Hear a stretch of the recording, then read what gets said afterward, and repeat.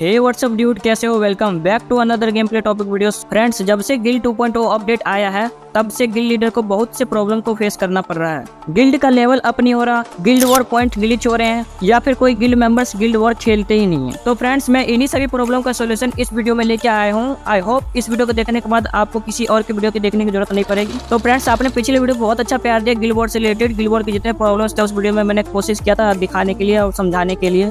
पर इस वीडियो में पूरा फुल डिटेल वीडियो बना रहा हूँ तो इसमें आपको बिल्कुल दिक्कत नहीं होगा, सारे प्रॉब्लम का सोल्यूशन मिल जाएगा। गिल्ड का लेवल अप कैसे करें और कितने ग्लोरी पे गिल्ड का लेवल अप होता है। तो सबसे पहले मैं आपका ये डाउट क्लियर कर देता हूँ फ्रेंड्स लेवल वन से लेवल टू तक पहुँचने के लिए आपको चार हज़ार पाँच सौ ग्लोरी एक्टिविटी पॉइंट्स देने पड़ेंगे। लेवल टू से लेवल थ्री तक पहुँचने के लिए आपको अठारह हज़ार आठ सौ ग्लोरी पॉइंट देने पड़ेंगे। लेवल थ्री से लेवल फोर तक पहुँचने के लिए आपको पैंतीस हज़ार एक सौ ग्लोरी पॉइंट देना पड़ेगा। लेवल फोर से लेवल फाइव तक पहुँचने के लिए आपको छप्पन हज़ार आठ सौ ग्लोरी पॉइंट देना पड़ेगा। लेवल फाइव से लेवल सिक्स तक पहुँचने के लिए आपको एक लाख बिरानवे हज़ार सात सौ ग्लोरी पॉइंट देना पड़ेगा। अगर आप किसी तरीके से भी गिल्ड का लेवल सिक्स कर लेते हो, तब भी आपको सात दिन में सड़सठ हज़ार पाँच सौ ग्लोरी पॉइंट देना पड़ेगा। अगर आप ग्लोरी पॉइंट नहीं दे पाते तो आपके गिल्ड का लेवल फिर से माइनस कर दिया जाएगा। तो कोशिश यही करना की आपके गिल्ड का लेवल सिक्स होने के बाद भी आपके गिल्ड के मेंबर सात दिन के अंदर सड़सठ हज़ार पाँच सौ ग्लोरी पॉइंट दे पाए, वरना नहीं दे पाए, जो नए खेल रहा उनको किक कर देना फ्रेंड्स तो फ्रेंड्स आपको इतना तो समझ में आ गया होगा कि गिल्ड का लेवल अब कैसे होता है और कितने पॉइंट्स देने पड़ते हैं। तो फ्रेंड्स वीडियो को अब दो सेकंड के लिए भी स्किप मत करना, क्योंकि मैं आपको कुछ ऐसे इंपॉर्टेंट सीक्रेट स्ट्रेटेजी बताने जा रहा हूँ, जो मैं खुद यूज़ करता हूँ। और फ्रेंड्स आप सभी के लिए एक बोनस भी है।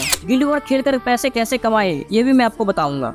Guild war glitch problem friends इस प्रॉब्लम से सभी बंदे परेशान है जो गिल्ड वॉर खेलते हैं यार। बड़ी मुश्किल से थोड़ा बहुत पॉइंट इकट्ठा करते वो भी ग्लिच कर जाता है उनका। और फ्रेंड्स इस दिक्कत के कारण गिल्ड लीडर को बहुत से प्रॉब्लम को फेस करना पड़ता है। सभी को एक साथ एक टाइम पे गिल्ड वॉर खिलाना और plus guild war point glitch हो जाना। यानी जानते हो फ्रेंड्स पूरी मेहनत का कचरा हो जाना। Friends guild war point glitch होता ही नहीं है। आपको लगता होगा गिलबर्ट पॉइंट ग्लिच हो जाता है एक टाइम पे आके, पर ऐसा नहीं होता है। फ्रेंड्स आप टॉप फाइव जो शुरू के मैचेस खेलते हो, उसमें आपको अच्छे किल करना होता है और अच्छे पॉइंट्स कलेक्ट करने होते हैं। अगर आप उसमें अच्छा प्रदर्शन नहीं दे पाते हो, शुरू के टॉप फाइव मैचेस में अच्छा किल नहीं कर पाते हो तो आपका पॉइंट रुक जाता है हद तक के। अगर ऐसा करते हो तो आपके पर्सनल लीडर बोर्ड में काफ़ी अच्छा स्कोर पॉइंट होगा। अगर आपका टॉप फाइव मैचेस अच्छा नहीं हुआ तो आपके पॉइंट अटक जाएँगे। क्योंकि फ्रेंड्स आप जो उसके बाद मैचेस खेलने वाले हो, उन सभी का पॉइंट गिल्ड में ऐड होता है। अगर आप बोया लेते हो अच्छे पॉइंट के साथ उस पॉइंट में से कुछ परसेंट आपके पर्सनल लीडर बोर्ड में भी ऐड हो जाएगा। अगर टॉप फाइव मैचेस के बाद के सारे मैच आपके खराब गए हैं तो आपके पर्सनल लीडर बोर्ड में कोई पॉइंट ऐड नहीं होगा। अब फिर कहोगे फ्रेंड्स कि मेरा पॉइंट अटक जाता है तो ऐसा नहीं होता। पॉइंट नहीं अटकता, उसके बाद के परफॉर्मेंस आप अच्छा नहीं कर पाते, इसलिए आपको लगता है पॉइंट अटक गया है। तो फ्रेंड्स ध्यान रखना की शुरू के टॉप फाइव मैचेस आपको अच्छे से खेलना है। आपको चिंता करने की ज़रूरत नहीं है की आपके गिल्डवर पॉइंट अटक जाते हैं। आप बिंदास खेलो, आपके गिल्डवर पॉइंट नहीं अटकेंगे, वो गिल्ड में ऐड होते जाएँगे सारे पॉइंट तो आई होप आपको गिल्डवर पॉइंट गिल्ड के बारे में सारा डिटेल पता चल गया होगा गिल्ड वॉर पॉइंट ग्लिच होता है कि नहीं होता है। आई होप आपको guild war point glitch problem का सोल्यूशन मिल गया होगा। तो चलिए मैं आगे वीडियो को बढ़ाता हूँ। Guild war not play guild members यानी कोई गिल्ड मेंबर्स गिल्ड वॉर खेलते ही नहीं आपके।